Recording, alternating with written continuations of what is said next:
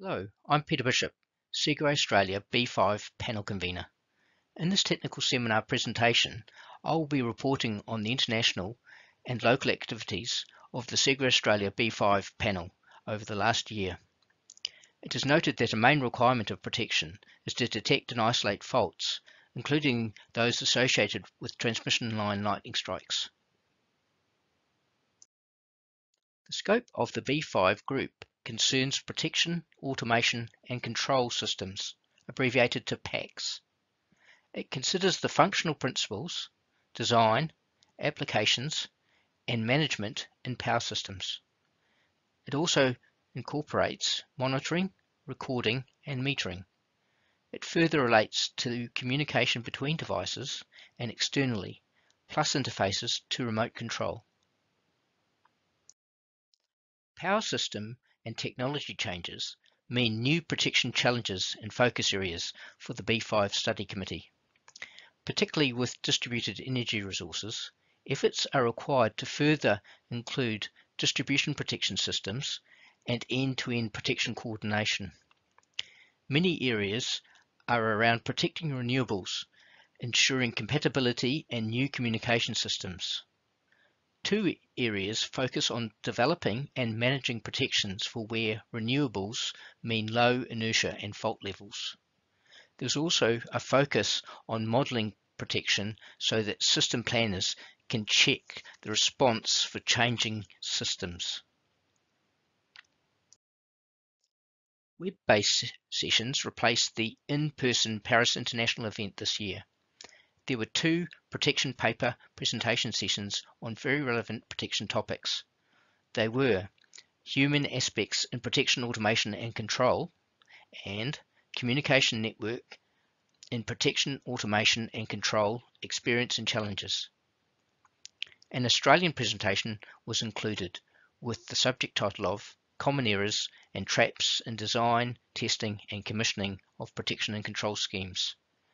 There was good attendance and a range of question and answers followed sets of presentations. Some common themes and highlights from the first topic on human aspects in protection included the many international examples of human error incidents that considered aspects such as the categories and controls for prevention, the focus on standardization, complexity and training, increased cybersecurity awareness becoming increasingly critical for protection engineers. Also, presentations looked at human operator interaction with protection systems. A particularly interesting aspect shown in one of the slides is the use of some unusual and non-standard primary network configurations being banned from a network to minimize risk. Papers presented on the second topic on communication networks in PACS considered architecture and design aspects, testing and commissioning aspects, and feedback from real and trial installations.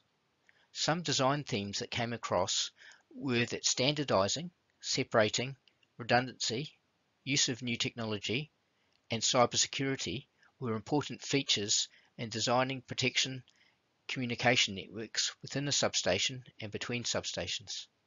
Some feedback from the presentations relating to testing and commissioning was that simulation and traffic monitoring were important. An interesting aspect shown in two of the slides is a successful trial of 5G current differential protection scheme for distribution networks. Another slide shows a design including communication network monitoring features Several presenters stated their initial designs did not include monitoring, but after experience with failures and problems, it highlighted that it would have been important to include them at the design outset. A number of papers covered communication aspects of process bus installations, and it showed that they were becoming more widely accepted.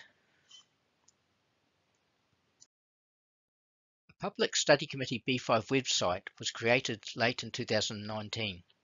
It's a place for anyone interested to reference aspects relating to the B5 strategic plan, active working groups, events, and technical brochures. CIGRE Australia B5 panel membership has grown to 34 members. Despite the present global and national situation, the panel is progressing with activities, some in a, in a different way or in a different format. The panel representatives presently contribute to 15 working groups and convene one Green Book task force. A Green Book is a reference publication on a particularly important topic.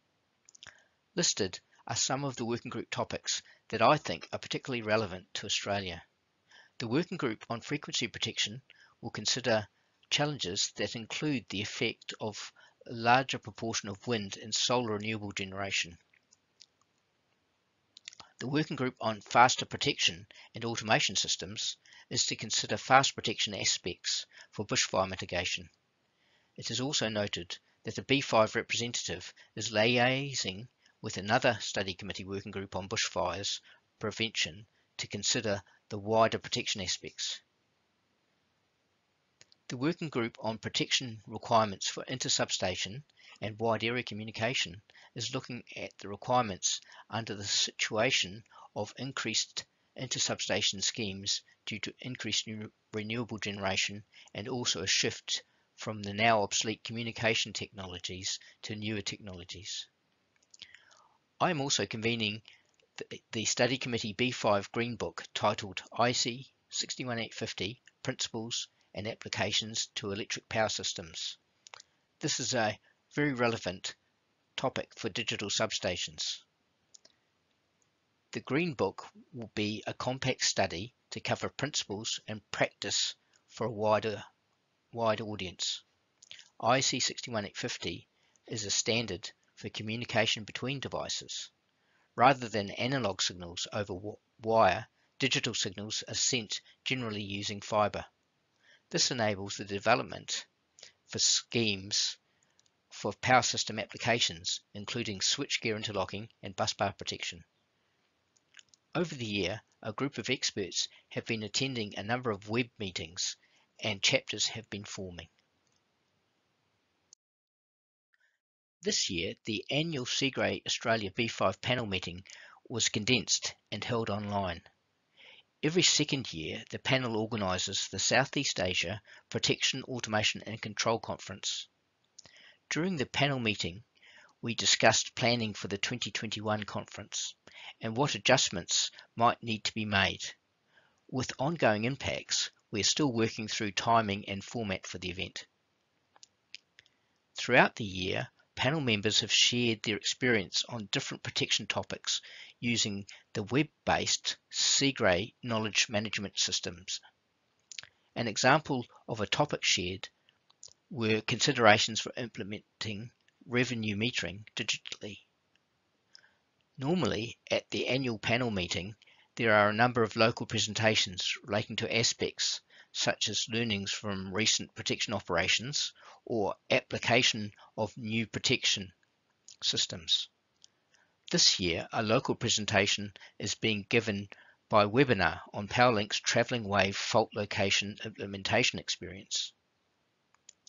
Another activity was to support the CIGRE New Zealand National Committee in their request to form a complementary New Zealand B5 panel.